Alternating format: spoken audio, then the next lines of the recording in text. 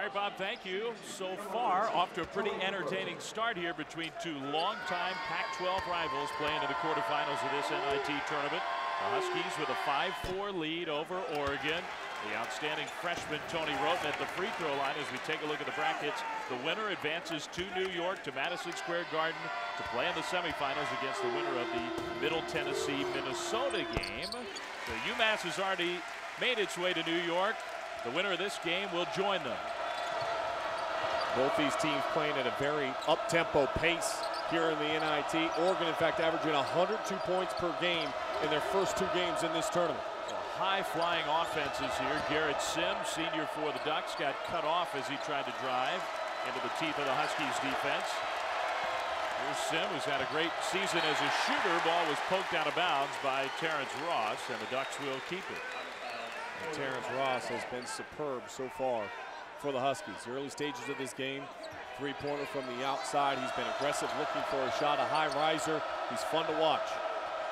A lot of superb athletes in this matchup. E.J. Singler down low to Tony Woods. Good little shot fake, and he flushes it home. How about the fact that Woods has all six points in the early stages of this game for the Oregon Ducks? I mentioned right off the top of this broadcast that he's the type of player that they were hoping to get 10 points per game out of every game this season. He failed to live up to expectations for a majority of the year, but down the stretch in particular, Dave, he has really started to assert himself offensively. It's made a big difference for the Oregon Ducks. Here's the freshman Wroten, nifty ball handler with contact. The follow dunk by Aziz N'Diaye. And the big fella cleans up the mess. Now Oregon, DeVoe Joseph playing at such a high level. Gets another touch for Woods down low. Fumbled the ball momentarily. And the Oregon Ducks will run their half-court offense. The game here back in December 31st on New Year's Eve really went the way of the Huskies. DeVoe Joseph struggled in that one. Here's Wroten with the steal, trying to take it all the way. Missed the shot, but draws the foul. And so Tony Wroten will go to the free throw line. When we come back here to Seattle, two long-time heated rivals in the Pac-12 going head-to-head -head here tonight in the quarterfinals of the NIT with a trip to Madison Square Garden on the line.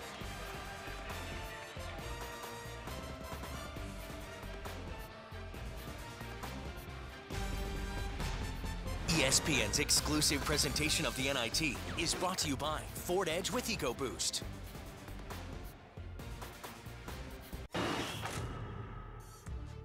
I think a great rivalry happens when both teams are pretty pretty good teams and there's some tradition with both teams. Uh, proximity, how close are those schools? Sometimes geographic location makes a, a great rivalry, but uh, I think uh, tradition, schools playing each other year in, year out, the fans having to live together. Uh, so there's a lot of talk in the, the office about who's the best team. Good stuff for the two head coaches here tonight. And in the early going here in Seattle, the Washington Huskies have an 8-6 lead over the Oregon Ducks. Dave Flemming, Sean Farnham here inside the Alaska Airlines Arena on the campus of the University of Washington. Sean, it is kind of cool. Here we are in the NIT postseason tournament, and yet we get a rivalry game. These two schools, they don't like each other, and they play each other year after year. Well, what packs a gym in the NIT? It's it's a great rivalry, and it's two teams that, as you mentioned, they don't really like each other all that much. And throughout the course of the season, they split the two home games. Every home team won the home game. And of course, tonight, a good quick start to this contest, and the Huskies have a three-point lead. So Tony Wroten, the freshman All-American for Washington, not a great free throw shooter. He hits both of them there. These two teams have been playing well, have been scoring at a great clip, and we expect the athleticism, the high-flying nature of this game to shine through. Wroten very active on both ends of the court early on. Well, that's where he is dynamic. You know, the deficiencies at the free throw line, the deficiencies from behind the arc, he makes up for that with his ability to attack off the dribble. He is a good defensive player. I think he can be even better on the defensive end of the floor, but he is a dynamic talent for a freshman and has been a difference maker for Lorenzo Romar's squad, who won the Pac-12 regular season championship. Foul on Aziz N'Diaye there reaching in. The Huskies and their fans were not happy with that whistle. That is the second personal foul against the big man who has to go to the bench. So that's a fairly big development for the Huskies in the first four and a half minutes of this game. And the first foul was on the offensive end of the floor trying to get a rebound. Austin Seferian Jenkins, who's an excellent football player, showed some football skills there in muscling his way to that loose ball. Uh, the concern you would have right now for Oregon is a couple of early turnovers. They have been superb in the NIT at not turning the ball over and finding teammates with unselfish looks. So far, it's been all about the Huskies' unselfishness. Gaddy found Gant, knocked down the long two. And so the Huskies are doubling up the Ducks with a 6-0 Washington run. DeVoe Joseph had a nightmarish game here in the regular season for Oregon. Shoots a contested three, too strong, and rebound to Gaddy. And we talked about that game on the 31st. Just one of 13 shooting from the floor for Joseph. He has been outstanding, though, down the stretch of the regular season. Has been the Ducks' best player. And made a great defensive play there. Ashaolu spin move in transition, scores with the foul. Uh, his strength and his upper body, his shoulders, able to bounce and shield the defense off. And you're attacking a great steal in transition. Here comes Ross getting back, one of the more athletic players in all of the conference. And yet, Ashaolu with the spin move and the strength to li lift up with the touch, too, up over the top of Terrence Ross. So Olu Ashaolu had a nasty collision in Oregon's NIT game, their win at home against Iowa. Has some stitches above his left eye. Didn't start tonight's game, but hits the free throw to complete a three-point play. Morgan will extend out their pressures, try to create more turnover opportunities. For offense for Washington. Terrence Ross, three-pointer, no good. Joseph hit the boards and went out of bounds, though, off of DeVoe Joseph. So the Huskies keep it. And a fresh 35-second shot clock. Wroten is the inbounder. And both these teams entered the Pac-12 conference tournament of hopes of making the NCAA tournament. And really for Washington, first time ever a team that had won the Pac-12, Pac-10 formerly, didn't make it into the NCAA tournament. You wondered and questioned how Coach Romar would get his team to play. What a look from Wroten. Seferian Jenkins missed the layup. There's Gant to clean it up. The offensive rebounds and putbacks have given life and extra opportunities for Washington in this game early. Oregon does not have a rebound as a team still in this game, not one. Here's a three-point look from the right wing, too strong. The Ducks are cold from the outside as well. Wroten in transition, flips it back to Gant. Ross steps into a three, no good. There's the first Ducks rebound. Joseph hustling into the front court. Donovan Loyd, extra pass, and a whistle and a hand check foul against the Huskies. The Huskies have to be aggressive and maintain the pressure and the tempo by attacking the rim, a good pass underneath, the miss, but staying with it and being in the right place at the right time allows the opportunity to score for the Huskies.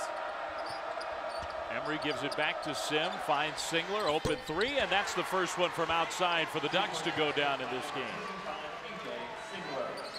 Well, E.J. Singler, the younger brother of Kyle Singler, who started Duke, led the Blue Devils to a national championship a couple of years ago. There's a turnover. The Ducks steal it away. Singler again, down low. Carlos Emory had it blocked from behind, out of bounds. Let's go back to that last possession as we're going to see another out of bounds underneath. How were you able to find the wide open shot from the outside? Watch the inbounder as he steps in. Go ahead and roll it out. As he steps in, the defense shifts. Freeze it right there. Wide open space. Nobody around him from the outside. Easy to knock it down. And that's just great proper floor spacing. Singler hits another three, so that's two in a row for E.J. Singler. One stat I always loved when I was an assistant coach at Pepperdine University was points off of out of bounds underneath. That's six straight points that have been allowed by the Huskies with dead ball situations on the defensive end of the 4-4. It gives Oregon the lead back. So the Ducks have made a run here. Abdul Gaddy, brief rest on the bench, back in, finds Gant. No good from the outside. Here's Joseph. Lob to Ashaolu, and he couldn't finish in transition. Maybe got caught in between thinking about dunking it or laying it in. Missed the shot altogether. Sim bounces it to Ashaolu. This time he gets fouled hard. Oregon all of a sudden turning up its intensity and its effectiveness at the offensive end of the floor, and it started from the defensive end of the floor. They started getting rebounds, a couple of turnover opportunities that they pushed in transition to find early looks that have flattened out the Huskies defense. So the senior Olu Ashaolu, transfer from Louisiana Tech, has had a nice year with the Ducks. You can see above his left eye stitches in Oregon's last game, a nasty collision. And he's playing here tonight against the Huskies. First free throw on the way. And good. And here's what happened in Eugene just a few nights ago. The hustle, and you love the effort, but his head went right into the corner. You're going to see a better angle right here. And just look at how it rattled that railing. He had to go back to the locker room, get stitches over his eye, and you see it right on above his left eye where he got patched up. And I talked to Dana Altman before the game, and coach told me he's okay. Had to go back, and Ashley is one of those tough kids on his team. He doesn't worry about it when he gets nicked up a little bit. Ashaolu hits the free throw, so Oregon leading by three. Now the Huskies against the Ducks pressure. It's an 11-2 Oregon run. Gaddy to C.J. Wilcox, excellent outside shooter, missed the three. Rebound Oregon. Loyd pushing, finds Emory in the corner. Carlos Emory tried to go baseline, was cut off. But got the ball back to Loyd. One power dribble and a blocking foul. And again, Ashaolu draws a foul against the Huskies. And Lorenzo Romar working hard on the sideline.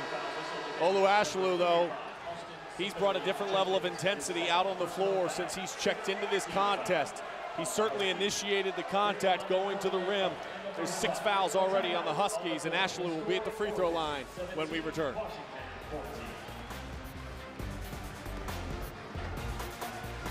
Sean Farnham here in Seattle, Washington for this NIT quarterfinal game. The Oregon Ducks leading the Huskies 17-14. Still fairly early in this one, Sean. Take us through our one-on-one -on -one matchup tonight. You have to look at players that have their eye on getting you to the Big Apple, and these two players have been the focus so far. Terrence Ross, five points in the early stage of this game. You see his NIT numbers, though, 27 plus points per game, 53% from the field. DeVoe to start and he's so important because the offensive numbers. Look at these numbers in the NIT. 102 points per game as a team. They are shooting 58% from the field. Those numbers way up from where they were in the season, and a big part of that has been Joseph and his consistency at the offensive end of the floor. Joseph watches as his teammate Olu Ashaolu shoots free throws out of the timeout and misses the first of two. Well, the Ducks scored 96 against a very good defensive team in LSU. Got 108 in their win on Sunday against Iowa out of the Big Ten. Ashaolu's second free throw made one of two. Only three Ducks have scored in this game. All 18 points coming from three players. Singler, Woods, and Ashaolu.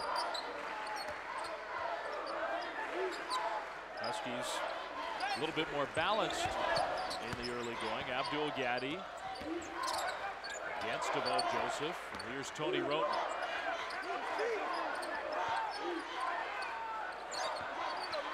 Wroten shoots a three, left side, short. Seferian Jenkins, rebound, power dribble, stripped away, but a whistle and a foul. It'll be Austin Seferian Jenkins at the free throw line for the Huskies. It takes up a lot of room underneath. Did an excellent job getting to the weak side of the glass. Tony Wroten's strengths, we've touched on him, his weakness, 12 straight games without a three-point shot made. So when that shot goes up from the outside, you got to assume that it's going to be a miss and go get it. a great job. And you're going to see him just muscle his way underneath. He pushes Olu Ashaolu out of the way, takes up space and gets a trip to the free throw line because of it. He joined this team late. When we were here, Sean and I, on New Year's Eve, the first meeting between the Ducks and the Huskies this season, he was not playing basketball. He was still on the football field. And he's made an impact for Washington, a major, major NFL prospect at tight end. He's got a great football future. Wild shot, missed by the Ducks. Alley-oop play, and Wroten couldn't quite grab the pass, deflected by Oregon. Sim down low to Tony Woods. He's bumped, but a travel before the contact. And Lorenzo Romar has had a history of players coming in, even from the football field, and making a difference. Of course, Nate Robinson, one of those players that made a difference coming from the football field. In the Pac-12 overall, I mean, Tony Gonzalez at Cal, another one of those players. Good look to Seferian-Jenkins from Wroten. And the tight end doing some work here against Oregon.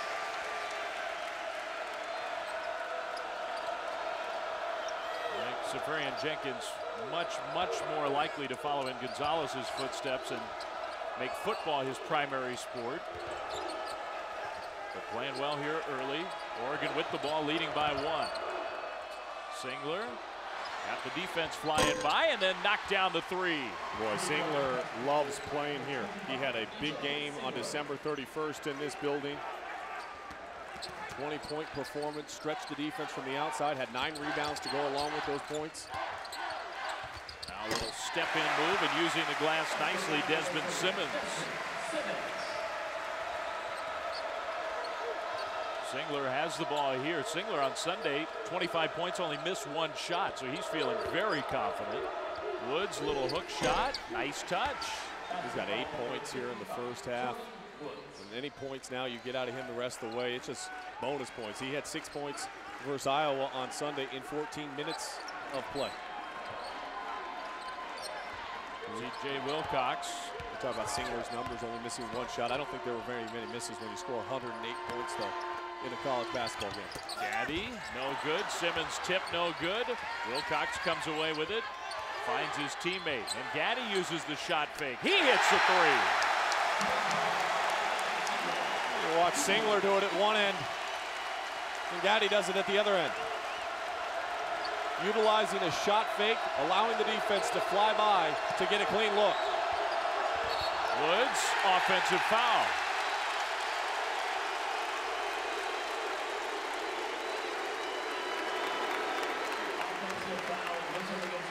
Great perimeter players know how to get the defense to elevate up. A little step under, pull back in three, and then opposite of the floor, show the ball, watch the defense fly by, clear out space, and drop it in. Nicely done on both ends. After the offensive foul against Woods, he goes back to the bench for the Ducks. Ross and Gant are back in for Washington, and the Huskies have the ball. There's Tony Woods, the Wake Forest transfer, after committing that offensive foul. Wilcox has such a quick release from the outside, couldn't get a shot off there. He had a huge game in this building against the Ducks earlier this year. Gaddy leaned into Sim and hit that one. What a great game we've got going here. Back and forth action.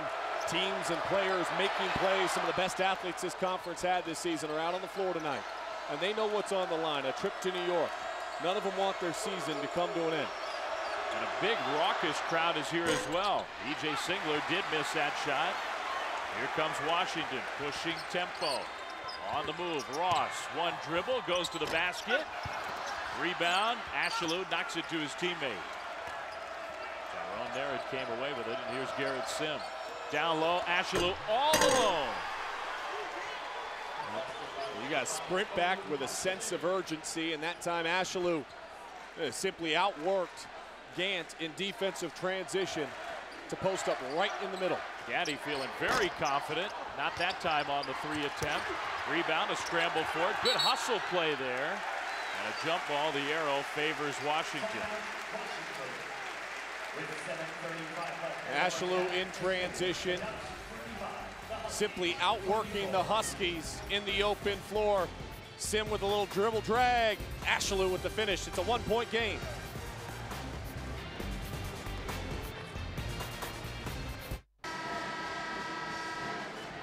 Well, no jump ball on that last scramble. Washington actually had possession. They gave the Huskies a timeout. So Washington ball coming out of the short timeout. Back and forth game here at the old Hec Ed Pavilion, Alaska Airlines Arena, right on the campus of the University of Washington. Tony Wroten, the freshman point guard, will inbound for the Huskies. 34 seconds on the shot clock. Gets it into their sophomore star, Terrence Ross, coming off a career high performance against Northwestern. Zone defense by Oregon. Started a man out of bounds underneath. Wroten found Ross for the layup against the zone. Well, against the zone, you get that dribble penetration into the middle. It forces the back line of the defense to have to step up just ever so slightly, and that's what Singler did. That cleared out the space for Ross. Tough move by Joseph. Good defense from Wilcox. And a scramble for it. Singler couldn't grab it. Oregon flips it to Singler, and he lays it in with a foul. What a wild sequence that was, and it ends up beautifully for the Ducks. Bodies have been hitting the floor here in the first half. Both of these teams getting after it. Loose ball situation. Who wants it more? The Oregon Ducks come up with it this time. It'll be an N1 opportunity for Singler. One-point lead, Ducks. The Ducks mascot cheerleaders are here in Seattle despite this game being on the campus of the University of Washington. Oregon has a one-point lead. NIT quarterfinal game. The winner of this one advances to the semifinals. Middle Tennessee, Minnesota meet Wednesday, 7 Eastern on ESPN2. Winner of that game will play the winner of this one here tonight. Other side of this NIT, UMass has advanced a five seed to Madison Square Garden and Nevada Stanford also Wednesday 9 Eastern on ESPN2 for a chance to go to the Big Apple. For these players, that's quite a prize. Everybody involved in these games wants to be able to play at Madison Square Garden. EJ Singler coming out of the timeout hits the free throw, and that completes a three-point play. I don't know how if you're a basketball player you wouldn't want to go play at Madison Square Garden. It's actually the one venue that in all my years at UCLA we never went to, and I wish that we had. Special place. Terrence Ross, little stutter step move. Man, Terrence Ross is playing so well these days. His skill set is complete, no question about it. Sim had his shot deflected by Wilcox. Loyd's runner goes. Jonathan Loyd, the sophomore from Las Vegas, not a big score for the Ducks. Ultra quick player harassing Abdul Gaddy up the court now. He's been a pretty good distributor of the basketball in the last couple of games, limiting his turnovers and finding his teammates. But great unselfishness, speaking of finding your teammates. Gaddy has been sensational in the early portion of this game. Already four assists for him. Six minutes to go until halftime. Uh, prize, a trip to Madison Square Garden. And a lot of times you see the champion, then the following year goes on and continues to find success. Three out of last five making it into the NCAA tournament field. And of course, West Virginia advancing all the way to the Sweet 16 uh, back in 2007. And the extra practice time, uh, the, the, understanding and learning how to be a winner in postseason play. I think that's one of the things this time of year that we forget to talk about. Uh, to become a champion, often you have to go through these type of battles, and whether it's in your conference tournament or in the NCAA or the NIT tournament, you've got to feel your way through and learn about it. And both these teams right now have showed great fight, really, in the NIT to get already to this stage, one step away from New York City. Loyd made both free throws. Oregon 32-30 with the lead. Into the bonus here for the final six minutes of this one. Here's Gaddy. Really fluid half-court offense on both sides. Ross contested two, no good. Rebound loose. There's Wroten, and he draws a foul. So Tony Wroten shoots free throws. We get a chance to remind you, Wednesday night ESPN, an NBA doubleheader. The Knicks and the Sixers at 7 Eastern. Then the Lakers and the Mavericks at 9.30 Eastern on ESPN Wednesday. Also, as always, available on that great Watch ESPN app. Wroten, free throw, rattles down. That Knicks 76ers game in the Atlantic Division. The Sixers sort of come back to the pack, so hotly contested in the Atlantic. Well, the Knicks, of course, went through that losing streak. Mike D'Antoni steps down, and all of a sudden the Knicks trying to find their footing and seemed to, seemed to, at least in the early stages, become a more competitive, well-rounded team, focused a little bit more at the defensive end of the floor, something that was really lacking. Mike Woodson's made a, an impact for the Knicks so far. That's a big game Wednesday on ESPN. Here's EJ Singler. Sim cuts along the baseline. It really had nowhere to go, and Singler gets knocked to the ground. That's a foul against Terrence Ross. And it puts maybe the best free throw shooter in college basketball at the line. Push it out. And Ross just a little bit slow in defensive rotation. Came up onto him, and Singler attacked him, realizing that he was a little bit off balance, enough to draw the personal foul. So foul trouble for the Huskies, much more so than for the Ducks. Ross comes out of the game. He's got two personals in the first half with still 5.25 to go. And in that instance, too, I mean, my point is that you closing out on a shooter and you want to get to him quick. But Terrence Ross has great, got great athleticism.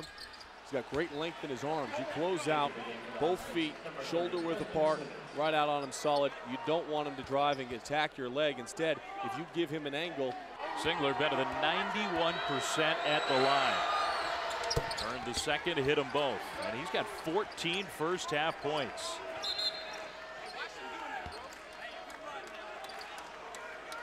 EJ Singler comes from a great basketball athletic family. Older brother Kyle was the Duke star, and EJ has turned into quite a player for the Ducks without those same kind of expectations coming out of high school that his brother had. A little cut on Abdul Gaddy. So a new rule. Here we are at the very end of the college basketball season, but new this year. The player doesn't automatically have to check out of the game. You get 30 seconds or so to try to get rid of the blood and patch things up. If that doesn't work, then the player has to come out. But the Huskies are trying to keep Abdul Gaddy in this game. And Lorenzo Romar doing an excellent job talking to the official right now to bide a couple extra seconds to make sure that no substitution has to come. So Gaddy is still in the game. We'll be back to action here with the Oregon Ducks leading the Huskies by three. Thought this one would be high scoring coming in, and it has not disappointed.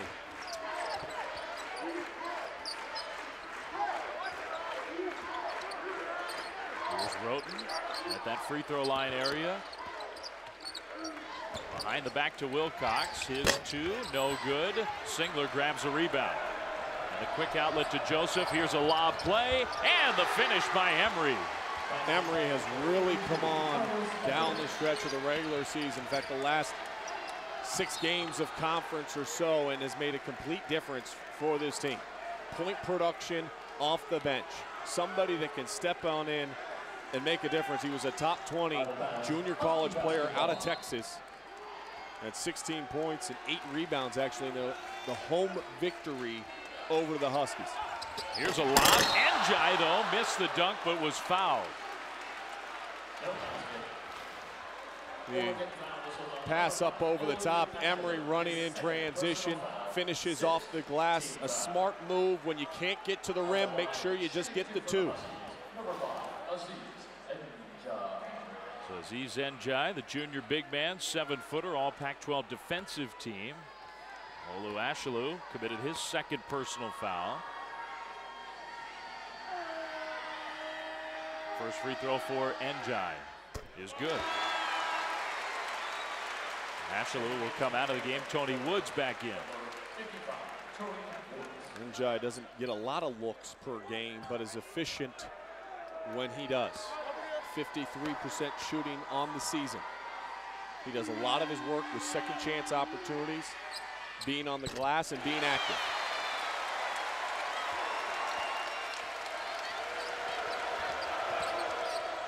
Here's Garrett Sim right down the lane. Good dish. Woods off the assist from Garrett Sim. Great feel by Sim to see N'Diaye stepping in his direction, realizing he vacates his spot, and Woods open underneath. An easy dump down.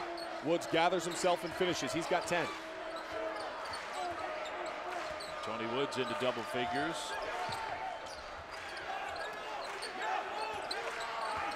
Huskies, by the standards of this game, very patient possession here. Wilcox rips the nets with a three. Out of the other end, Emory wasting no time. Singler gets fouled. So a pushing foul against Washington.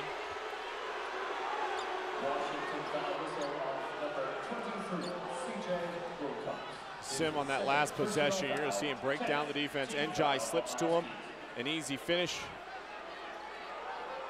And then he fixed the monitor, too.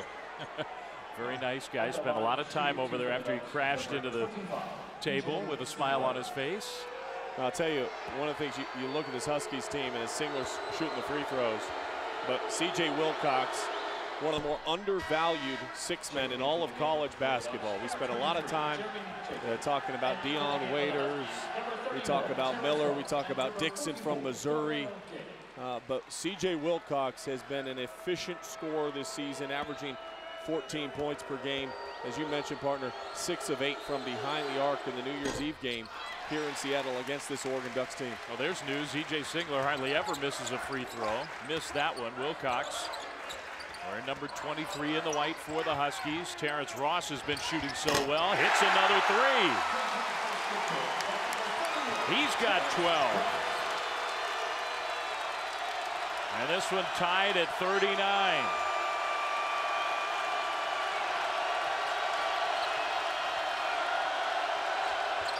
On the baseline, Jacobs' shot is perfect. Great perimeter movement, great spacing out on the floor, and the Oregon Ducks able to rotate it and find an open look from the short corner. Abdul Gaddy rejected by Woods, who read that play coming all the way. Now Sim thought about the three in transition, kept that pivot foot down and gets another assist. These last two possessions, even in transition, Oregon has spread the floor and created gaps, and you've got to be able to flash to the open area, receive the pass. Sim almost traveled, but was able to keep his foot down. N'Diaye with a double team on him. Passes out of it. Wilcox, there's the shooter. Off to the side, no good. That was good defense by Singler, who takes the outlet from Sim. One step, missed the layup.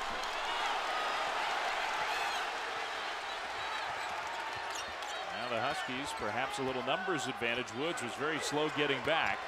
Gaddy outside. Wilcox wide open. No good. He didn't miss many of those. Hard pressed to say he's had a shot that was more open than that one all season long that didn't go down. So the Ducks dodged one there. Oregon ball up by four. Final two plus minutes of the first half.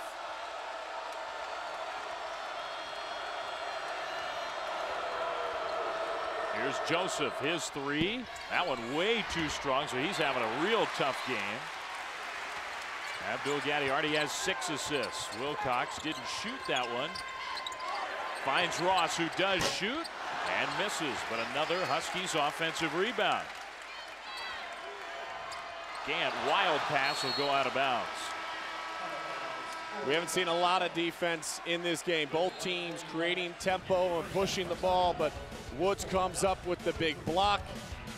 And then at the opposite end of the floor, the great touch pass, flash to the open spot.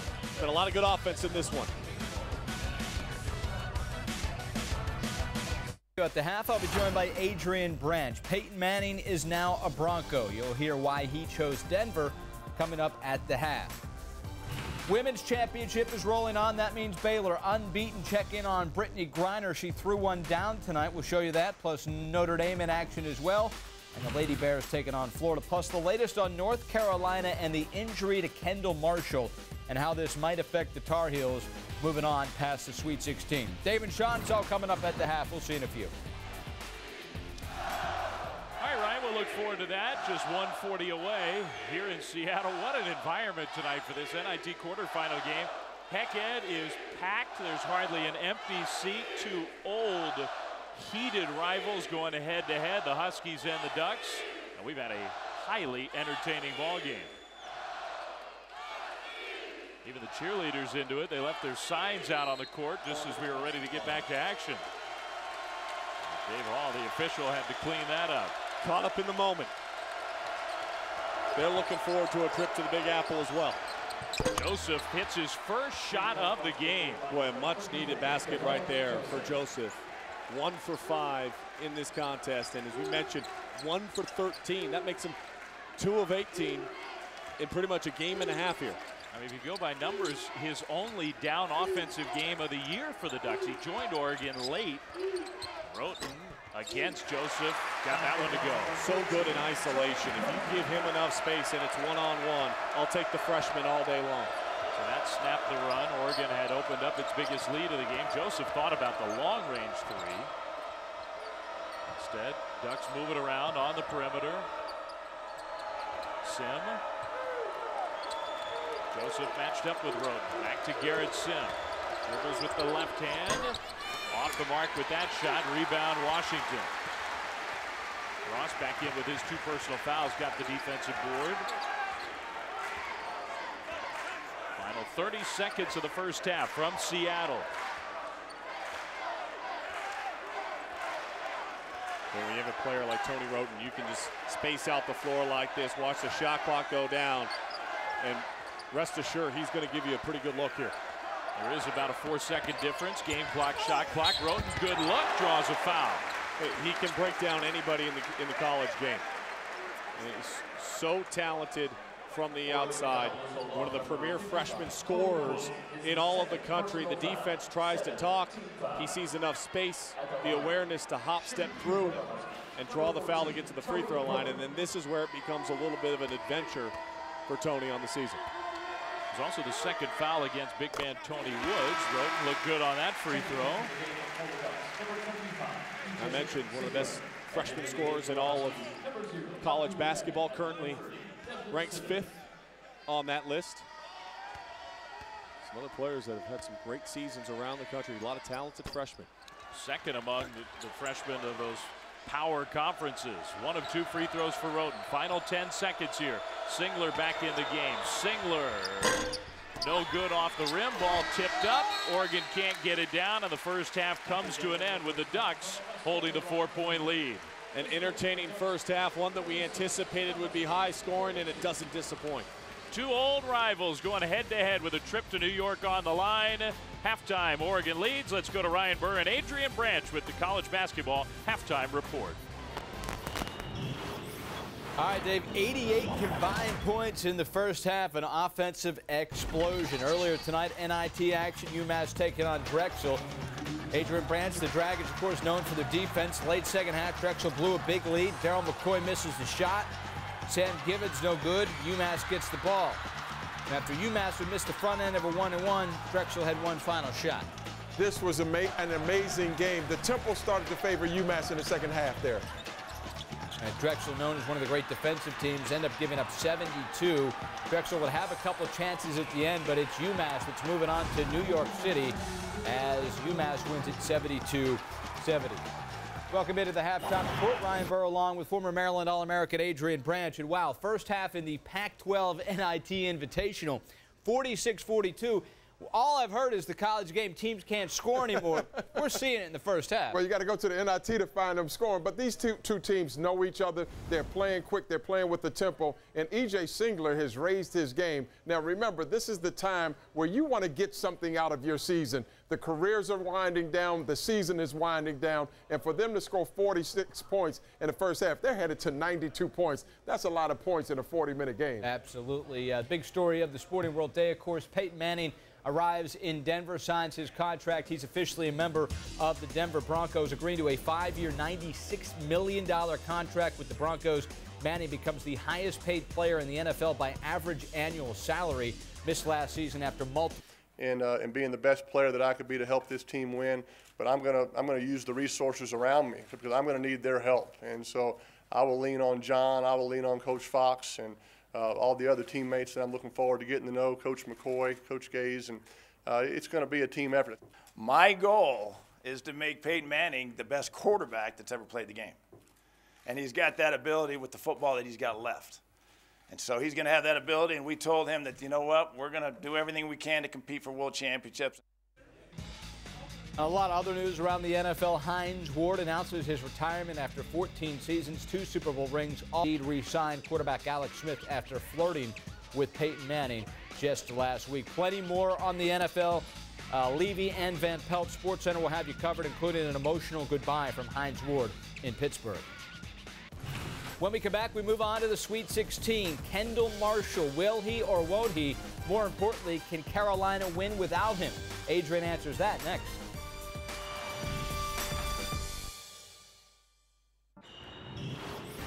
Welcome back to the College Basketball Halftime Report. Brian Burr, Adrian Branch, North Carolina on to the Sweet 16, preparing to play without injured point guard Kendall Marshall. One day after surgery on his broken wrist, Marshall did not practice today. His teammates expect him to go. The Heels responding to their critics. Just watched a little ESPN segment. Uh, we were joking about it, and uh, they basically said that we're coming back to Chapel Hill instead of going to New Orleans. I've seen, uh, I think, uh, ESPN Sports Center this morning. They're they're kind of writing us off, which is fine with me. Overnight, we just got counted out of the race for you know national championship or you know, people telling us, you know, your friend Doug Gottlieb, you know, we're gonna go back to Chapel Hill and not come out, uh, not go to New Orleans. We've got to pull together if we want to have a chance, and I just don't see my team going out there and laying down and going belly up. I just don't see that happening. If Kendall Marshall is limited or unable to play this weekend, indeed it will have a huge impact on the offense.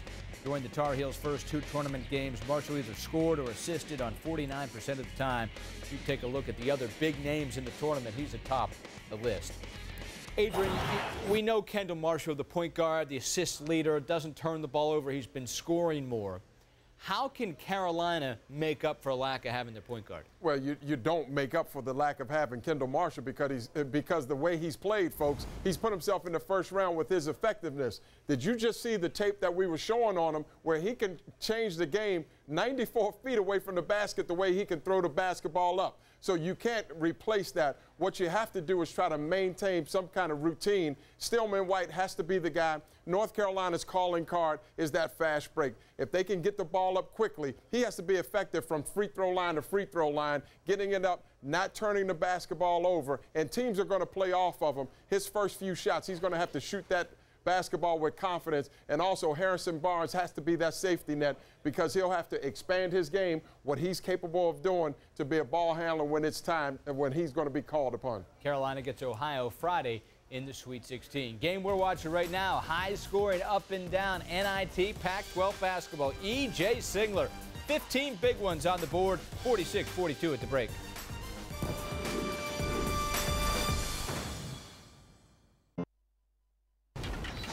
Ryan Burr, Adrian Branch, women's action, women's championship. Brittney Griner and Baylor unbeaten on the year, taking on Florida. And Brittney Griner can dominate the game in so many different ways, Adrian. Well, you saw her blocking shots. She runs the floor. She plays through a double team. There's nothing she can't do at the college level and counting. Now, there she is on the offensive glass, but this is what separates Brittney Griner from everyone else in the college game. Finds the ball in the lane, and then, oh, branch style. Wow, I like that one off the vertical. That was impressive. Boom. Uh, 76-57, number one Baylor now perfect 36-0 on the season. Another number one seed, Notre Dame, winners of the Big East regular season, taking on Cal. That's Skylar Diggins. Diggins can pull it up and knock it down. She's been doing this for years. She is a star, and I like her because she's left-handed. Look at that play right there. Stealing. Use the right, Skylar. Use the right. Still in the second, Notre Dame up 15. And tacking on are the Irish as they go on to win 73-62 over Cal. Elena Delle Donne and Delaware taking on Kansas is currently over on ESPN2. And Delle Donne, one of the great players in basketball. Superstar, six foot five, Ryan. She is a guard forward. There's no gimmick in her game. She is a star. Six five, here she is. Shot, got it, 24-20. Delaware on top. Enjoy the second half from the West Coast.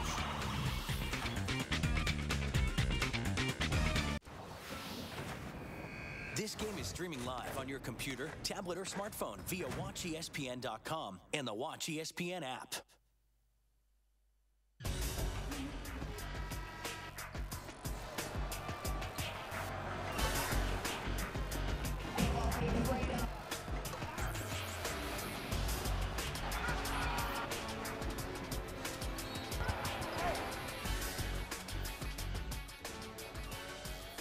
Well, it's twilight time in beautiful downtown Seattle. We're just a couple miles away. University of Washington, the host of this NIT quarterfinal game, started the second half.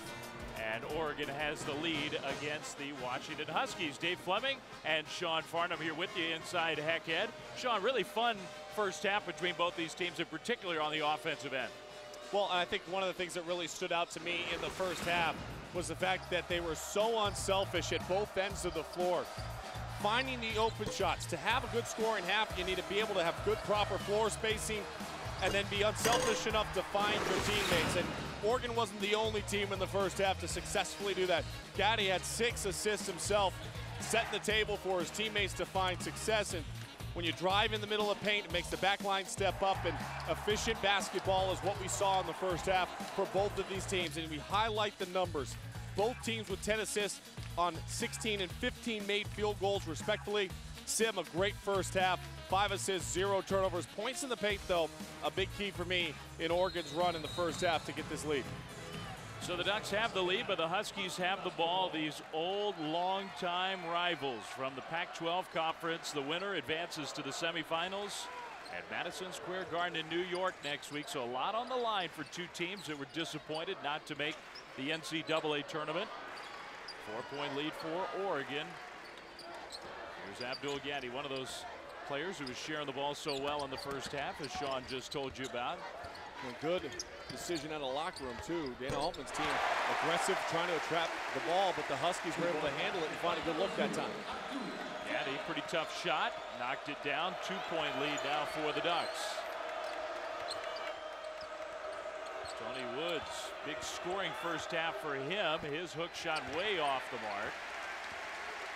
Huskies have a chance to tie or more here. Tony Wroten was available for a quick screen. They went the opposite direction of Ross. Maybe not a bad decision the way Terrence Ross is playing these days. Just a superb athlete. He's got 14, and the Huskies have tied the game at 46. Here's Woods left wide open, and he got the friendly roll. Ross in transition. Couple of dribbles just inside the line for two. Boy, he is fun to watch. One of the more talented sophomores in all of college basketball playing like it down the stretch, especially here in the NIT. Big time prospect for the next level, Terrence Ross. Inconsistent year for the Huskies in some ways. He showed flashes of brilliancy and then at other times would tend to disappear. Singler misses the shot. Singler has 15, but was off the mark on that one. Gaddy weaving his way through traffic, dumps it to Wroten, and Tony Wroten he's been making a living off this, draws another foul against the Ducks. We talk about a rivalry matchup, teams that are going to be physical with one another.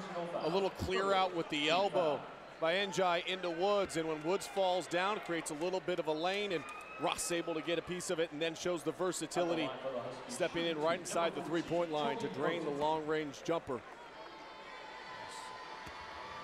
So much fun to watch him play. 41% from three-point land in this tournament, 53% from the field.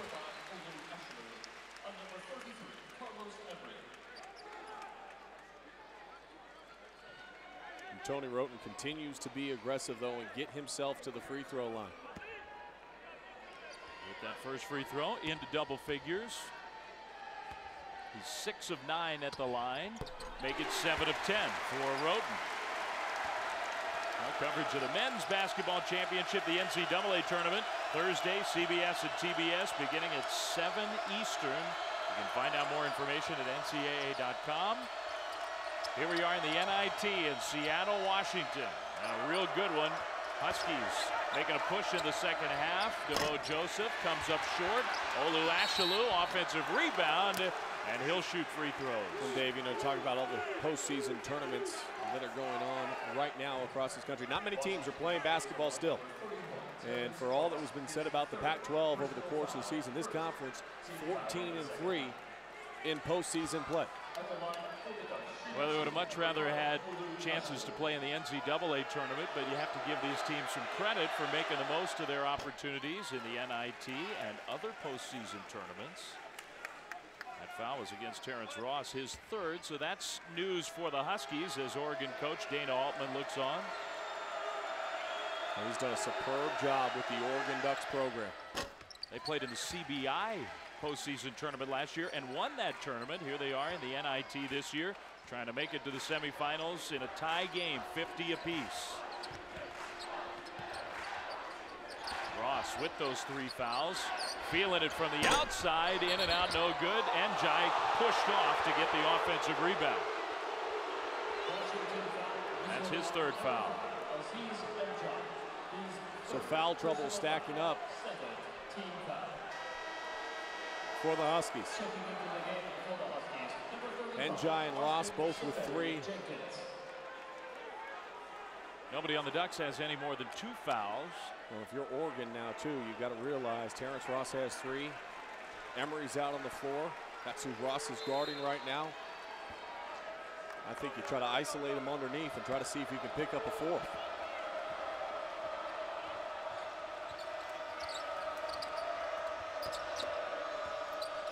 Devoe Joseph. Down low to Ashaolu. Joseph has had a quiet scoring game. Ashaolu stepping back, missed that shot way up high. Ross for the rebound. They went to Emory initially in that possession. Emory did not attack. He chose to swing it instead. Here's Gaddy matched up with Singler. Seferian Jenkins in the game for N'Diaye. They'll set a screen for Wroten here. Tony Wroten draws that contact, missed the shot. Seferian Jenkins rejected. And here come the Ducks three on two. Joseph all the way. Joseph with the blocking foul. And that one easily could have gone in the opposite direction.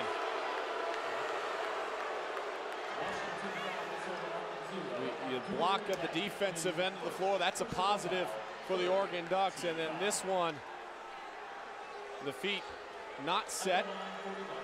But I still think the smarter play by Joseph would have been to distribute the ball to his teammate, Emory, who was running on the opposite side of the rim. He misses the free throw. I think the Ducks clearly would have had a layup, and it's cost him a point. The spacing out on the floor. Here you are attacking the rim. This is the guy you want to look for. He's wide open. Just distribute the ball. Instead, he goes into the contact. He's fortunate to get the call, but it should have been a dunk. Wouldn't have been a layup. It would have been a dunk for Carlos Emory. Joseph makes one of two free throws. C.J. Wilcox comes in the game, and Ross with his three fouls checks out. Ducks back up by one, 51-50. Tony Wroten, a quick glance to his head coach Lorenzo Romar for a play call. Gaddy's playing a nice floor game for the Huskies. He's got the ball here.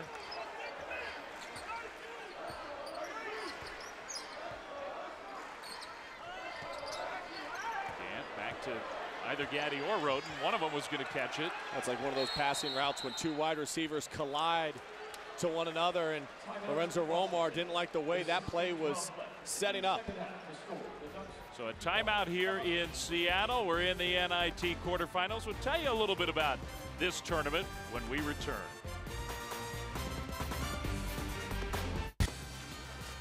Right, let's test your NIT knowledge. I know everybody out there knows all of this already. Which school most games won in the NIT? Think Madison Square Garden. Okay. New York City team, St. John's, 45 all-time NIT wins. How about who played in the first championship game all the way back in 1938? I think a Pac-12 school now did in Colorado, and if I'm not mistaken, they played Temple. All right, good answer by Sean Farnham. How about our last NIT trivia question? The only school to win the NIT NCAA championships in the same year. All you, partner. Your Not versatility. a big-time basketball program any longer, but the City College of New York, all the way back in 1950. So some NIT trivia for you here in this quarterfinal game between Oregon and Washington. There's a whistle and a foul. We saw Singler do that in the first half where he was able to pick up a foul on Terrence Ross. Wroten just did it right there. I would like to know how many fouls Wroten alone has drawn against Oregon in this game. It's a lot. He shot free throws, but even just on plays like that. When you're aggressive and you can attack off the bounce, you can draw a lot of fouls. C.J. Wilcox knocks down the three, and the Huskies up by two. Let's see if he gets it going like he did in the second half of that matchup on December 31st. He Had a couple of wide open looks he missed in the first half. Ashaolu along the baseline, the reverse layup. Nice move.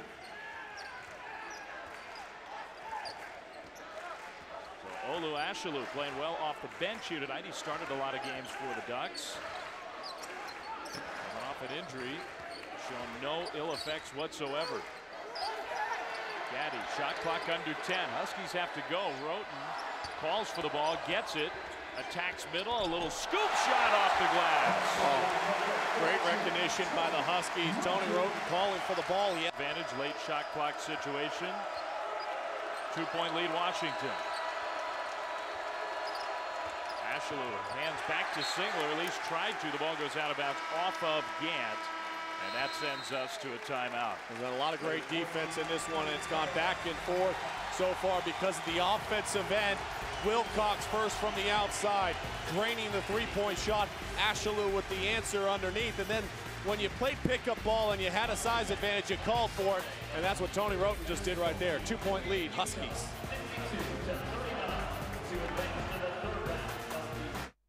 Tony Wroten and the Washington Huskies here in this NIT quarterfinal matchup lead the Oregon Ducks by two. Tony Wroten has having a very nice game here tonight. And you like the aggressiveness, recognizing, again, the size, the athleticism, the strength advantage.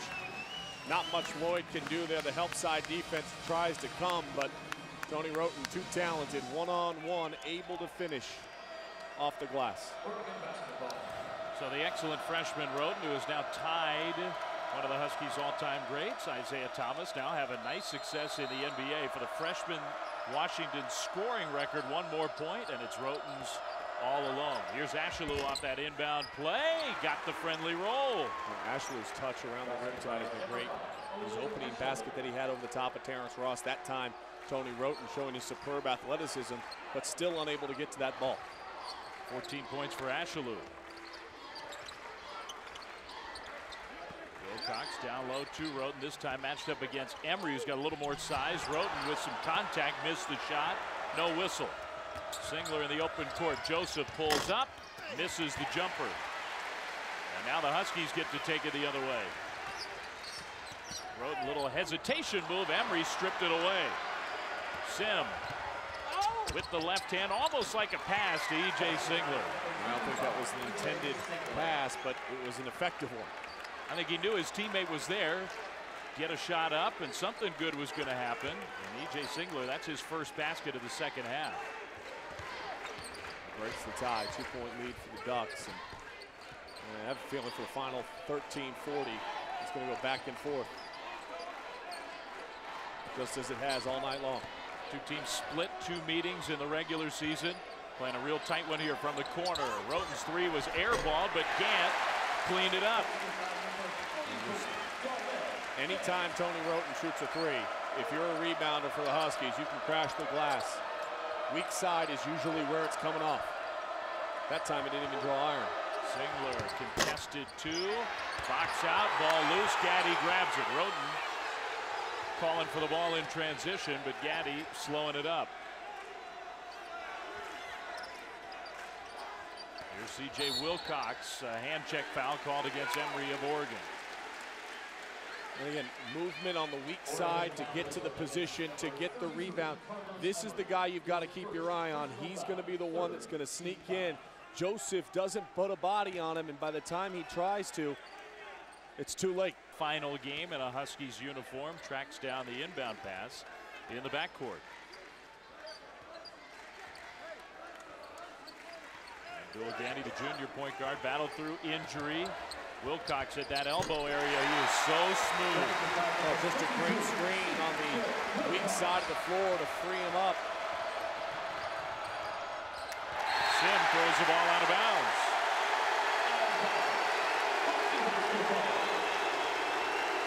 This crowd is wanting to explode. It's wanting to see a Husky run here at home. Check again for the Huskies, number 31, Terrence. Sim didn't have a turnover in the first half. Threw that one into the Ducks bench. Altman calls out his Oregon defense. High scoring game in Seattle.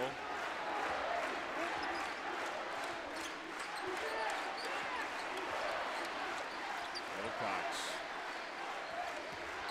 Back to Gaddy who slipped, but he was pushed. There's something about this building that just doesn't agree. Hands on the hip like that, that's an easy call for the official. And Joseph on the offensive end, just one of seven shooting. He's coming out of this game. He has been fabulous for the Ducks through most of conference play, through the postseason. But struggled big time here in this building on New Year's Eve and having another tough night here tonight against Washington. Ross back in the game, hits Wroten, cutting to the bucket.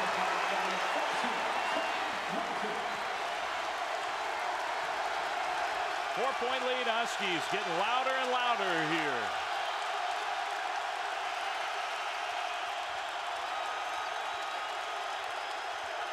Woods with the spin move, a little shot fake, and he draws a foul.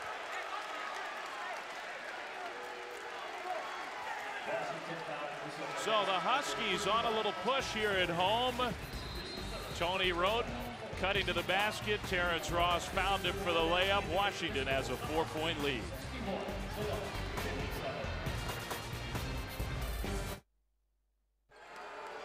Huskies on a little bit of a run, a four-point lead. Let's take you inside the play and just see how great movement away from the ball can help open up opportunities. As ball swung to the corner, first thing you got to do defensively is get below the level of your man.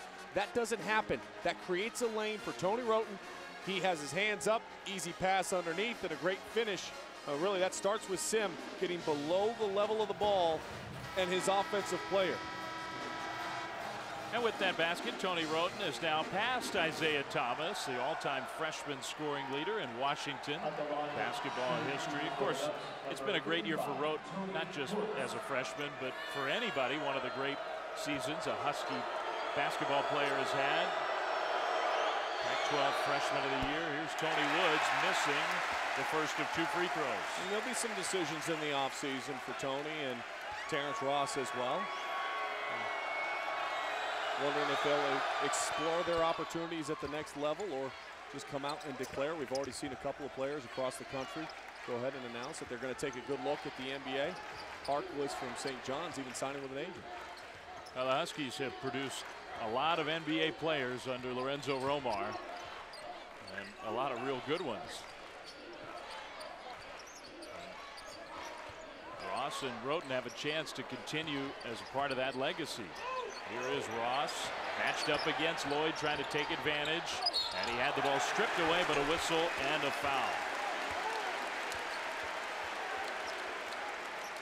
Free throws coming for the Huskies for the NIT tournament. This quarterfinal matchup. Winner goes to Madison Square Garden next week, March 27th, 9 Eastern, ESPN2. The semifinal games in the NIT. The game Middle Tennessee, Minnesota. Tomorrow, 7 Eastern on ESPN2, 9 Eastern, ESPN2. The final piece of the puzzle in New York, Nevada, and Stanford. Ross hits the free throw. How about Middle Tennessee State, a team that we saw earlier this season at Denver did not make it into the NCAA tournament. Had high hopes all season long to get there. Now an opportunity, maybe one game away, hosting Minnesota.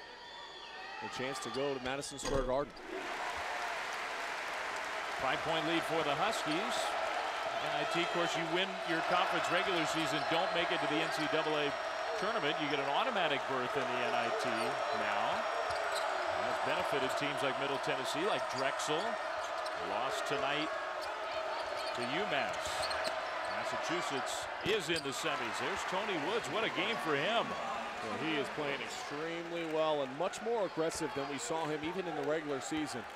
15 points for Tony Woods. Seven of eight shooting has made an impact on the defensive end. Wilcox fumbled the ball. Sim couldn't quite steal it away though, so the Huskies retain the possession. Wroten Gets it back from Seferian-Jenkins. Shot clock at 10. Wilcox. Ross, little hesitation. Pulled the trigger anyway.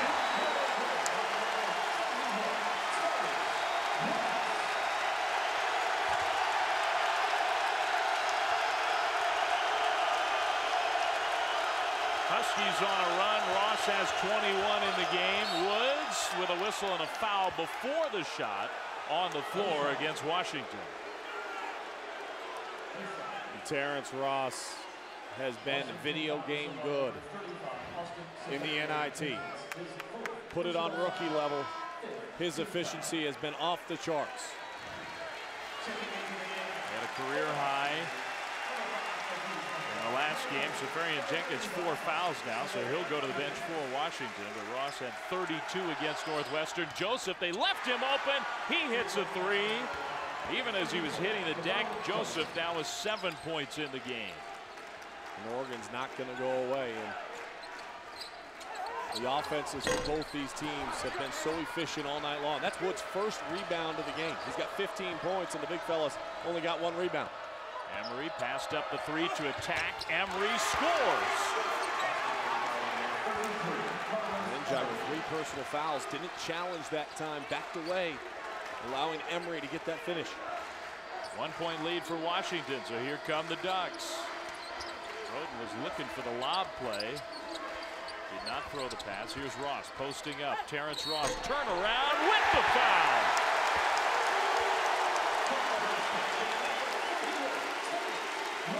At the opposite end of the floor, Oregon and Emory aggressively attacking off the wing and a little shot fake drive by. N'Diaye backs up, not wanting to pick up his fourth personal foul. And when you're looking for an answer, the answer to any question right now for the Huskies at the offensive end is Terrence Ross.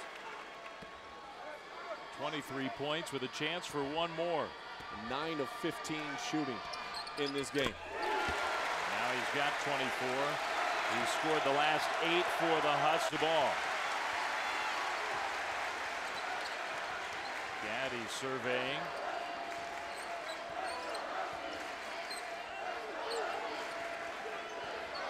Tony Wroten gets it. Shuffles it off to Wilcox. Good defense by Joseph. Wroten going to the bucket. Wraparound pass. He's knocked to the ground. That was a great look, though, by Tony Wroten. Wrapping it back around to N'Diaye. As he aggressively attacks again, you just you have to understand the strengths of a player, and Tony Wroten's so good that when he catches on the perimeter, coming right at you. Dana Altman and the Ducks use a timeout. The Huskies gaining some momentum in this game. 8.55 to play. 69-65 Washington. Two schools that play each other in the Pac-12 conference know each other so well. Just head down the I-5 from here in Seattle. Four or five hours, you get to Eugene. These two campuses so closely connected in two games, Sean, during the regular season between these two that were wildly different but eerily similar in the same way. In the first contest, the Huskies behind the outstanding perimeter shooting of C.J. Wilcox, who had 24 points on six of eight from three-point land. We're able to win by 16, and then February 9th at Matt Court, a much more aggressive Oregon team. Emory with 16 points, eight rebounds, really kind of turned the tide in that contest. 82-57 winners, and the third game in the rubber match here tonight. Well, these two teams, look at that series. This is the 292nd meeting in basketball between Washington and Oregon. Tony Wroten, ordinarily not a very good free throw shooter, very memorably for Huskies fans, missed a couple of free throws in the Pac-12 tournament as the Huskies got eliminated with their NCAA tournament hopes on the line. But Wroten's been good at the line tonight, made one of two there. Here's Singler on the breakout. Joseph swatted by Wroten. What a hustle by the freshman leading the break behind the back, and he threw the ball away. Uh, how is that not a turnover? Yeah, that has to be. He threw it to himself. And Jai knocked the defender down. That's an offensive foul. And Dana Altman is irate on the sideline right now. Uh, you cannot pass the ball to yourself. Uh, Tony Wroten with, with an incredible play offensively, goes around his back, travels, throws the ball out to nobody, picks it back up. That's a travel. Yeah, that was an easy call that was missed. And Dana Altman was not happy about it. Of course, a couple of seconds later, Aziz N'Diaye committed an offensive foul. That's his fourth in the game. I think Lorenzo Romar would have rather had the travel than the fourth personal foul on N'Diaye. Much rather. In a funny way, it benefited the Ducks. There's N'Diaye with his four fouls. A great defense by Wroten, but didn't turn it into offense. So the Ducks down by five, have the ball back. Having a hard time communicating. It's so loud in here. And try to get N'Diaye out of this game. I post up Woods right now and go right at him. That's what they're doing. Woods missed the shot. Rebound N'Diaye. Woods faded away on the shot attempt, though, rather than aggressively trying to power through. Now Wroten with Singler on him. Flipped the shot up, got his own miss. Wroten missed the shot, but draws another foul. That one against Woods. Well, Wednesday night, ESPN with an NBA doubleheader at 7 Eastern. Knicks and 76ers, then the Lakers and the Mavs from Dallas at 9.30 Eastern. Wednesday, ESPN, also available on the Watch ESPN app. Your NBA doubleheader.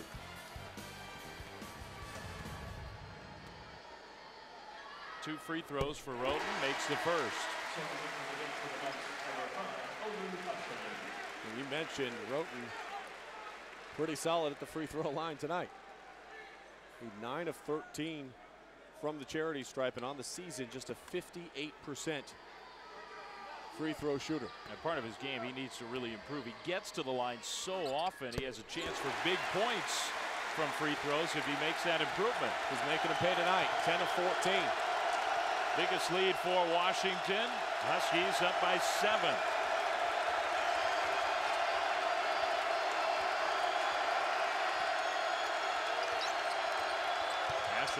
Back to Sim. His three short. Offensive rebound. Ashaolu falling to the ground. No whistle against N'Diaye. Uh, no whistle because you're going away from the contact. Go through the contact and be aggressive. N'Diaye could have fouled out on that possession, but Ashaolu goes away. Here's Gant. Wilcox, a little opening. Three!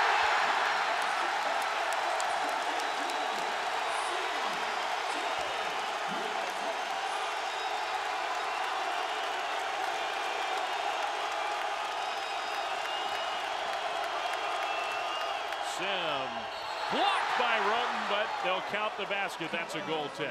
Uh, it's been a great environment all night long. The gym has been packed and the fans have been waiting, waiting for a moment to get on their feet. There's been a couple of them tonight. Wilcox, once again, providing the lift against the Ducks. That shot gave them their largest lead, but it's back to eight.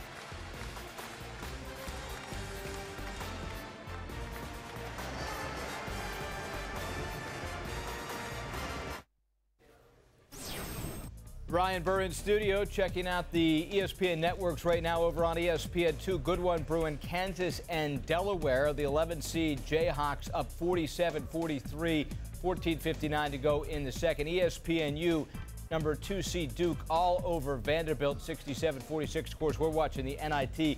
That's the women's championship on ESPN2 and ESPN3. Guys? All right, and what I'm going to show you here as we welcome you back here to Seattle is how Ryan Burr should utilize the screen in the rec league at ESPN. He doesn't, though. And watch the way Oregon, he's going to trail the screen this way. The spacing, though, allows Wilcox to pop right out for the knockdown three. You've got to understand a shooter. If you hedge out on him right away, it forces him to maybe curl into the help, which is in the middle portion of the paint. Right, not quite the same shooter that C.J. Wilcox is. There are very few in the college game. He's very successful, though, back in Bristol. I'll take your word for it. A little trap from the Ducks, but Washington easily gets through the pressure. And now Tony Wroten, who's having a big night, the freshman for the Huskies, and who knows, could be his final performance here in this gym. Depending on his decision whether or not to head to the NBA. Abdul Gaddy over to Darnell Gant, the senior, who surely is playing his last game here. Shot clock winding down. Gaddy with five. Gaddy has to get a shot off. Does. Missed it though. Rebound Singler. So Oregon able to withstand the 9-0 run before the blocked shot that was counted as a goaltending, but offensively they've been a little bit out of sorts. Tyrone Nared wildly off the mark with that shot. Singler had a huge first half, very efficient numbers, 15 points. In the second half, though, the defense has really clamped down only two points for E.J. Singler. I think Darnell Gant has often been the guy matched up with Singler in this second half, so give him credit for some excellent defense. That's been a big reason why the Huskies, who trailed at the half by four, now lead by eight. Ross pinned in the corner by Emory and picked up his dribble. Wilcox step back the long two. And Jai missed the follow. Singler grabs it away. A good job on the glass by Singler. Offensively, though, you've got to have get back to your floor spacing and an unselfish move. Here's Ashaolu. N'Diaye's got the four fouls. Ashaolu finishes. See, play down low, aggressively attack N'Diaye. He's either going to back away or he's going to pick up his fifth personal foul and be out of the game. Now, you might have seen Dana Altman there at the top of your screen. Think he doesn't think this is a big game. He is into it on the sideline as Gaddy gets knocked hard to the floor. Foul against Oregon.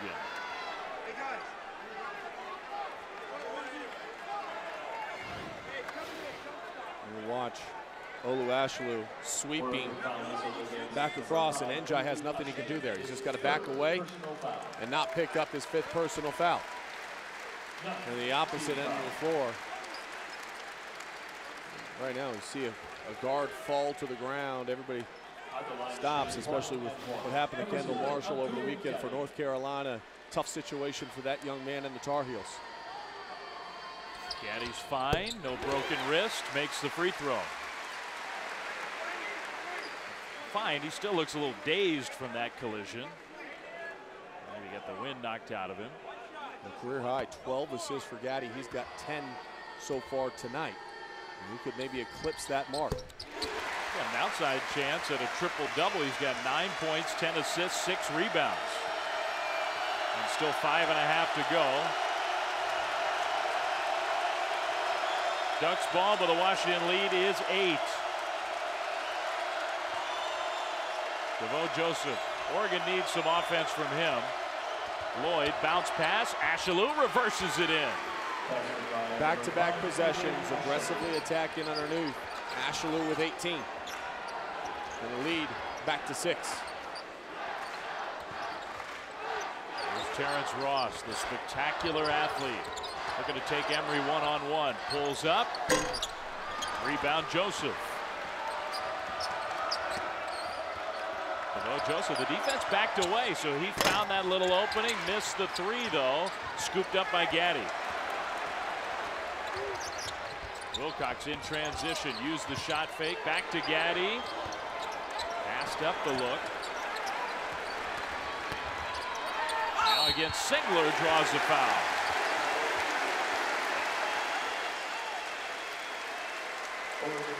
We mentioned off the top, DeVoe Joseph, 20 points per game, seven assists per game, shooting 59% in the NIT.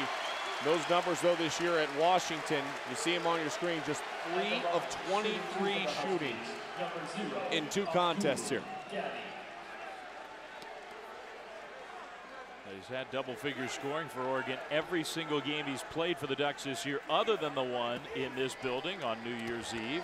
He has seven points, shooting two of 10 in this game. Gaddy misses the first of two free throws. Number three, Garrison. And in the game for the Huskies, number 14, Tony Brook. Wilcox out. Gaddy's second free throw rattles home. He's got 10 points, 10 assists now. The men's championship regional semifinals Thursday on CBS and TBS. All the schedule information, information at ncaa.com.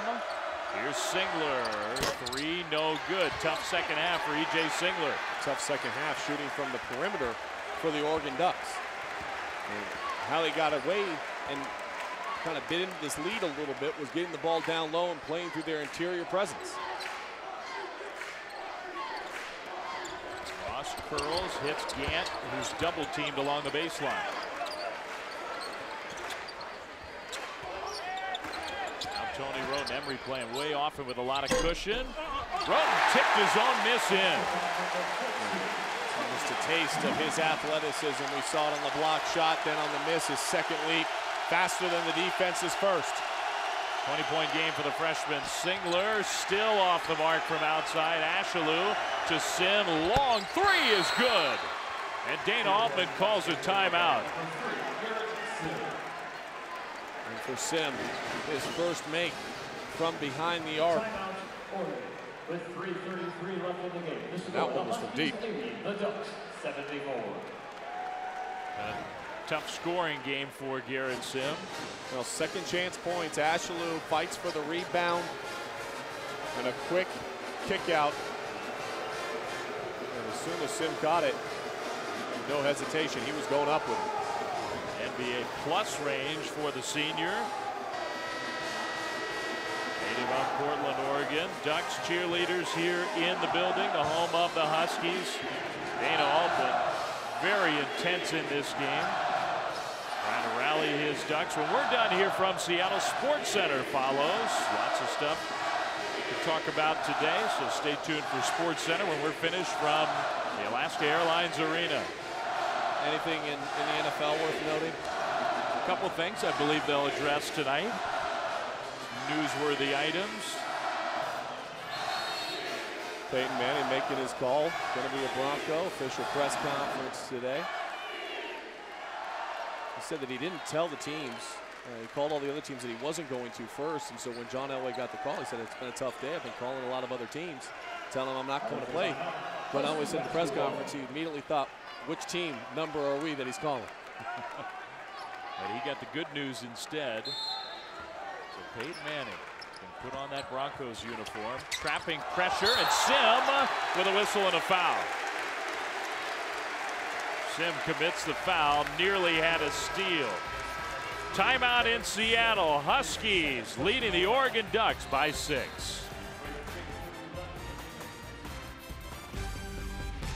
ESPN's exclusive presentation of the NIT is brought to you by your local Scion dealer and Fidelity Investments. Turn here.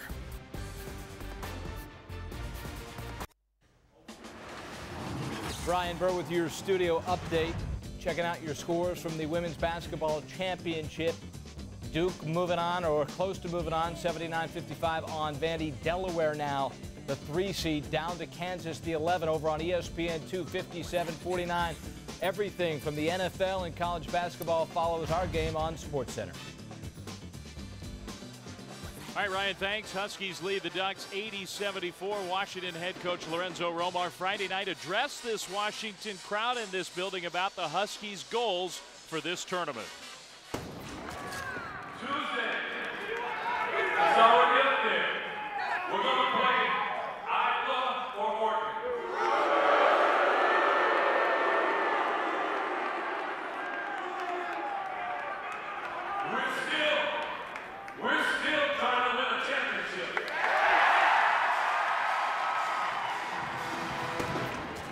The determination from Lorenzo Romar, head coach of the Huskies, of course, ended up playing their rivals, the Oregon Ducks, and now 3:30 away from the semifinals of the NIT.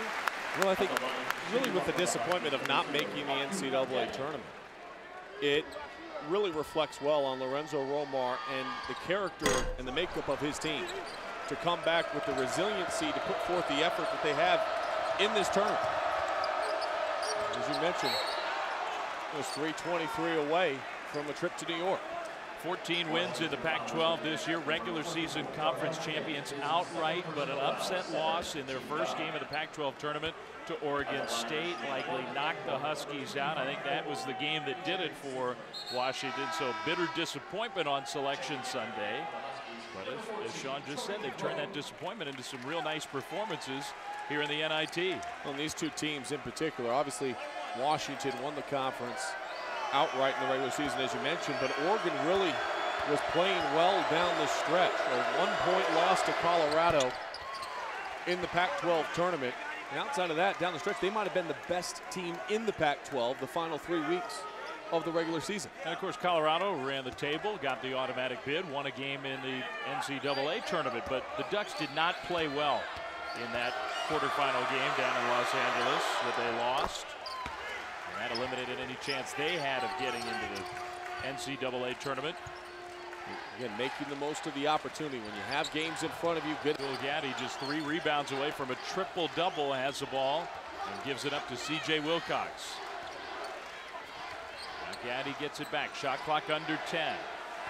Huskies milking this possession. Here's Wroten on the attack. Had the ball knocked up in the air. It goes out of bounds off of Oregon, but the shot clock reads just two. So two on the shot clock here. And the Huskies have to get rid of one in a hurry off the inbound play. And Lorenzo Romar is going to call a timeout to talk about this one. And he's not happy calling that timeout. Now the winner of this game advances to New York City, the semifinals of the NIT next week, March 27th, 9 Eastern, ESPN2. The winner of this against the winner of Middle Tennessee, Minnesota. That matchup Wednesday, 7 Eastern, ESPN2. Also Wednesday at 9 Eastern, the final piece of the puzzle. Nevada, Stanford, the winner of that one, advances to play UMass. And Nevada Wolfpack were one of those teams that won the regular season title in the WAC and got the automatic bid into the tournament. And uh, competition against Stanford going to be a good contest. Johnny Dawkins' team victorious last night. The officials are checking the clock with the monitors at the table. See if Washington needs time added to the shot. And I think you, you could almost read Dave Hall's lips there. They got it perfect. I think they did. Got to be a quick hitter coming out of the timeout. You're looking to set some screens, good action away from the weak side of where the ball is being inbound to get a good look up with two seconds.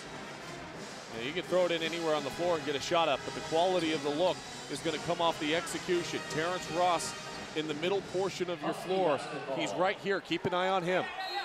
So Gaddy the inbounder, two on the shot clock. Abdul Gaddy looking for somewhere to go.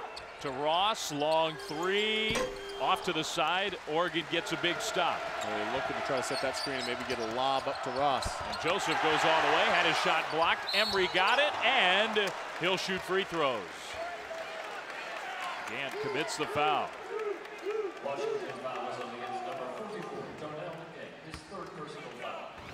Oregon hasn't had a lot of opportunities in the open floor in the second half. They had a bunch in the first half. Good defense collapsing over from behind, and then the foul will send in Emory to the free throw line. Almost got that shot to go. I mentioned Emory, a top 20 junior college player out of Texas, has yet to get to the free throw line.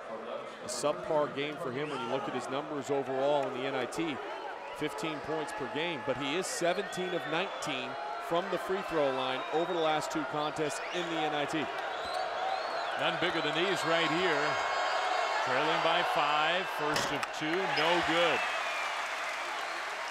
He just has not gotten it going in this game. Carlos Emory's numbers, effective player during the year, but not a star. He's been a star in the NIT. Makes one of two. Oregon sets up their pressure and they trap Abdul Gaddy, but out front to Wroten on the attack. Wroten, offensive foul, and wave off the basket.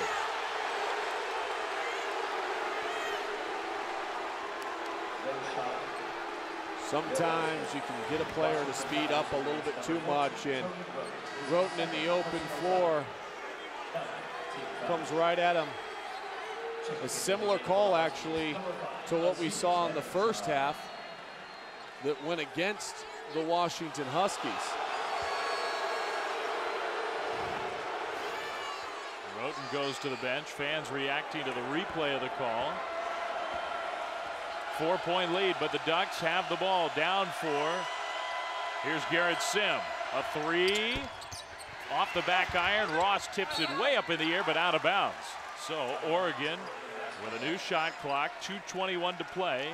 Inbounds from the baseline. 221, four point deficit. I look to try to get something towards the rim, post up Ashaolu, and instead unable to get the ball in bounds. They've got to call a timeout. Sim didn't want to risk the turnover there, so he uses the timeout. Oregon has one left. Washington still two timeouts remaining. We figured there'd be a lot of intensity in this matchup. Two rivals, big old rivals in the Pac-10, now the Pac-12 conference. I think we've seen that here tonight. A physical contest and a game that these two teams have shown a zest for wanting to win. Bragging rights in a rivalry, extending out the season, a trip to New York, all on the line for these two programs. And just some great action all night long offensively. You know, we're looking to score 81-77, 221 left to go. Oregon's ball. A lot of players making a lot of big-time plays. Uh, Washington, Washington State are great rivals. Oregon, Oregon State are great rivals. But for both of these schools, this is it. This is the number one rivalry for both the Ducks and the Huskies. And no matter when they play, no matter what sport it is, more than just bragging rights on the line. DeVoe Joseph has it off the inbound play against C.J. Wilcox. Good defense by Wilcox. And look at Ashaolu. He's got N'Diaye behind him. N'Diaye's got four personal fouls. I wouldn't leave the block area. Ashaolu did. Now gets closer to the basket. Missed the shot. And Jai grabs the rebound. And now a foul against Emory.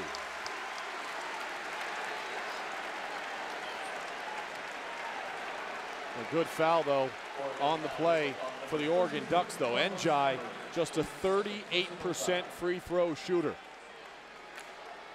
Some close losses for the Ducks. This one coming down to the wire for Dana Altman's team. Game here in this building on New Year's Eve was not this close. So much better performance for Oregon this time in the Huskies building. And there are those numbers Sean was telling you about. N'Diaye with the double bonus for the Huskies. He banks it in. I don't think he called it.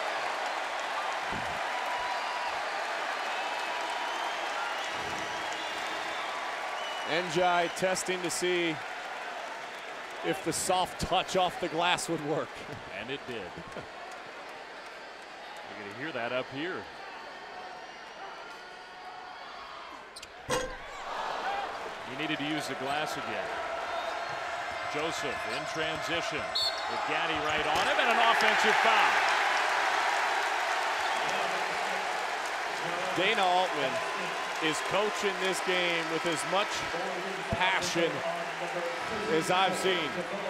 Uh, he is working the sideline hard and arm extension by Joseph as he dips his shoulder in on Gaddy. I'm not sure it impacted the play a whole lot, but the arm did come out. That was obviously a big call. Ducks down five, Huskies now the inbounding team along the baseline against the Oregon pressure. And Dana Altman's got his jacket up and sleeves rolled up. He wanted a five-second call there instead. A timeout Huskies. While we have a moment, let's check back in the studio with Ryan Burr. Ryan? All right, guys, thanks so much. We got a really good game brewing on over on ESPN2. Delaware and Kansas. Looks like it's going to come down to the wire. Adela currently with 31 points, keeping Delaware in the game, but right now the upset is on as Kansas leads 64-57. Five minutes to go. Once again, that's over on ESPN2. SportsCenter follows our game, guys. All right, so two good ones simultaneously here on ESPN, over on ESPN2, and the Women's Basketball Championships. Across the state of Washington last night, 11 seed Gonzaga Bulldogs on the women's side advanced to the Sweet 16. The third consecutive year for the Bulldogs program under Kelly Graves, who's done an outstanding job with their program. Seeing more and more upsets. It's good for women's college basketball to see you know, the, the, top teams are obviously still there, but to see the talent starting to drift out a little wider, double-digit seeds advancing. And despite the, the name differential, Delaware, Kansas, a Kansas win, that would be a big upset. In that one, Wilcox out of bounds off of Wilcox. And a Washington turnover.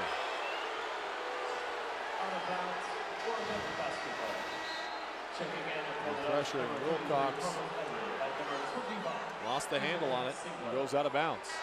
As he spins in, he trips up. That's a good call.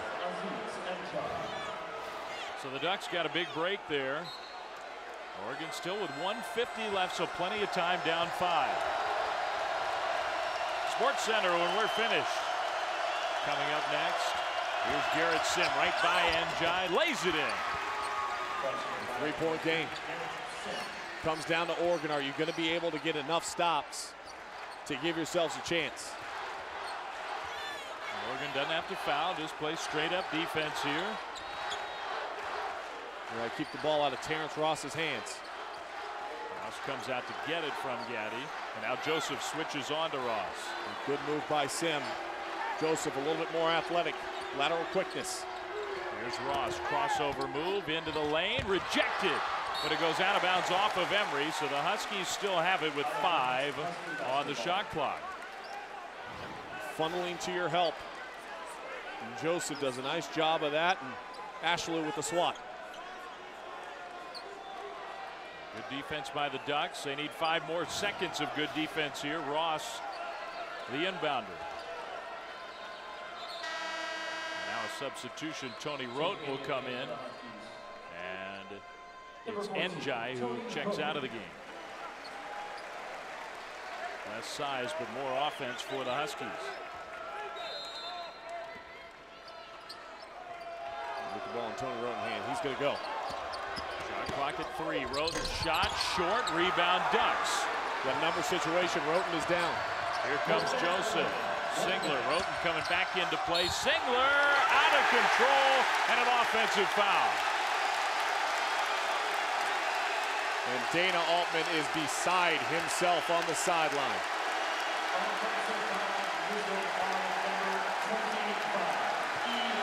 That's the fifth foul against E.J. Singler. And it goes as a turnover as well.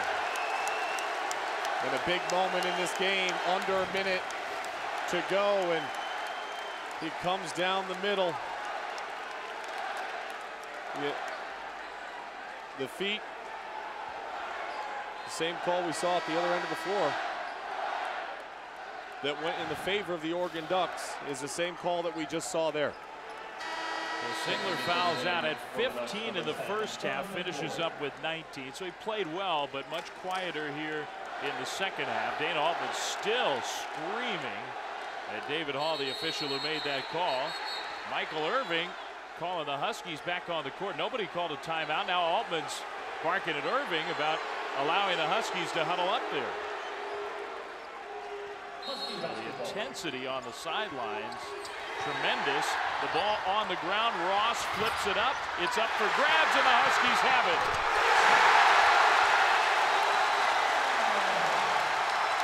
Joseph for three. An answer on this end, and Altman calls a quick timeout. Well, Dana Altman has been playing on the sideline as if he was a player. I mean, he is just coaching his team up on the sideline with great intensity.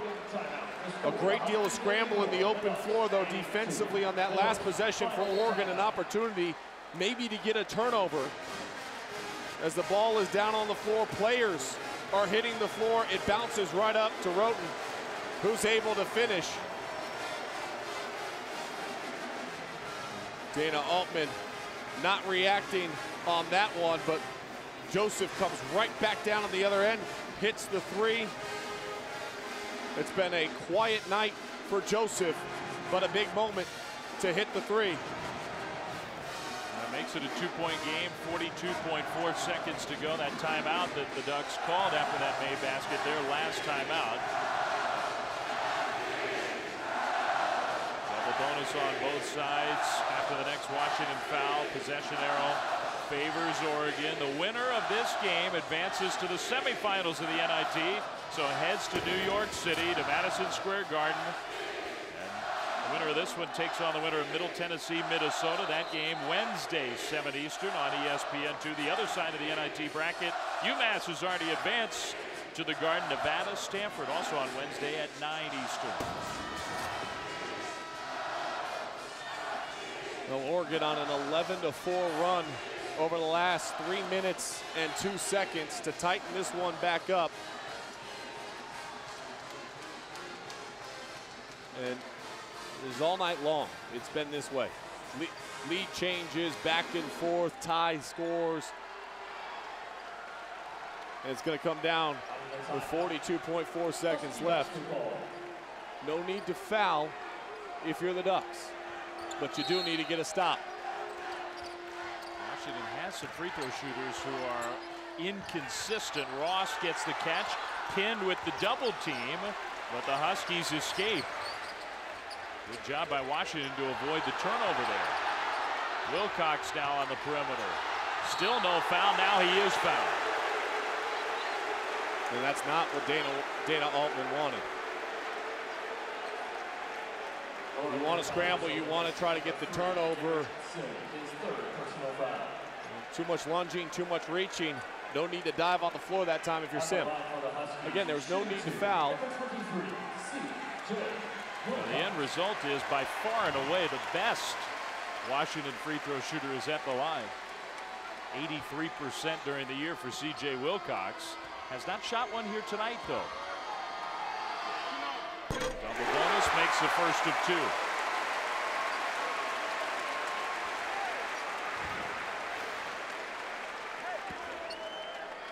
Wilcox with that scramble is perhaps trying to call timeout, but the whistle and the foul. And he takes advantage, makes both free throws. So the Ducks have to hurry. They're down four. Joseph, shot fake, three, too strong, rebound Wroten. And he gives it up to Wilcox, who will go back to the line. What a smart play by Tony Wroten. A 58% free throw shooter gets the offensive rebound and immediately finds the best free throw shooter out on the floor. And no need really for Joseph to take the three-point shot. You're trailing by four, 29 seconds left. Try to get something going to the rim. Tell the look on his face. The Oregon Ducks know they're in deep trouble now. Wilcox just made two seconds ago, two more right here.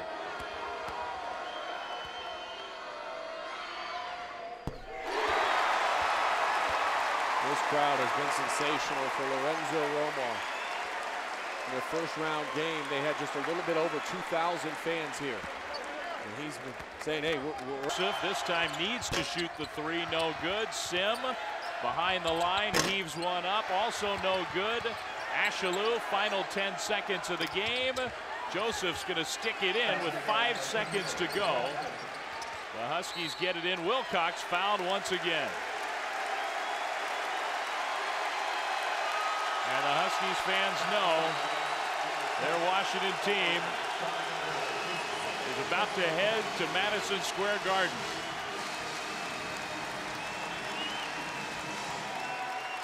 The Oregon Ducks 24-9 coming in. Uh, back-to-back 20-win seasons under Dana Altman. But it's going to be Lorenzo Romar and the, and the Huskies advancing. You saw the look on the face of the senior Tyrone Nared. His career is about to be over. His college career. Garrett Sim, DeVoe Joseph, Tyrone Nared, Jeremy Jacob. A pretty big group of seniors for the Ducks playing their final game unless Oregon could pull off a miracle. How about the composure of Wilcox? Six of six. All down the stretch for the Huskies. He's got 17. Last chance. The Ducks do get credit for those two, but not enough as the Huskies win at home. They beat their rivals, and Washington is into the semifinals of the NIT and heading to Madison Square Garden. The University of Washington could have looked at it as a negative that they weren't in the NCAA field. Instead, this resilient group of players has marched its way all the way to Madison Square Garden for the semifinals of the NIT. Well, they'll play next week there against the winner of Middle Tennessee, Minnesota. UMass has also advanced to New York, and they await the winner of Nevada, Stanford tomorrow, Wednesday night, 9 Eastern on E ESPN2. That matchup, the championship on March 29th. Fun game tonight here from Seattle. The Huskies and the Ducks. Washington wins it 90 to 86. For Sean Farnham and our entire ESPN crew, Dave Flemming coming up on ESPN SportsCenter. Good night from here in Seattle.